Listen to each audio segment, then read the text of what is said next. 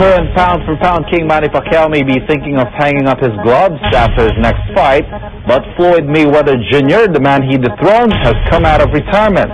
And as Chino Trinidad reports, the pretty boy thinks he still lords it over the Pac-Man. Former pound-for-pound king Floyd Mayweather Jr. announced that he was coming out of retirement just before the Manny Pacquiao Ricky Hatton bout where a Pac-Man knockout happened. Pac-Man disposed of the hitman in less than 6 minutes. Mayweather is set to face Juan Manuel Marquez, whom Pacquiao had already beaten. Floyd's move is seen by many as his first step in trying to regain the crown which now rightfully belongs to Pacquiao. I'm not here to rate guys on pound for pound. All you know what I've done in the sport of boxing. I, have never been beat, and uh, I left the sport on top. I come back on top.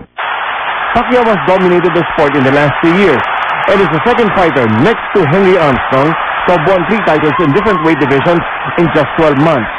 And even the unbeaten Mayweather realizes what Pacquiao is capable of. I don't really know too much about Pacquiao. I've seen the guy fight.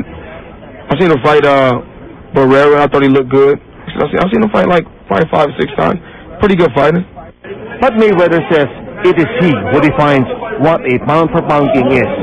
What makes a pound-for-pound king? We know you are king, but what makes for What makes a pound-for-pound king? This is what makes a pound-for-pound king.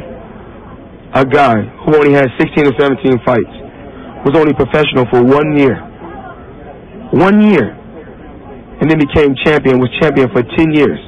Six-time world champion, five different weight classes without a loss. Chino Trinidad, reporting on Q.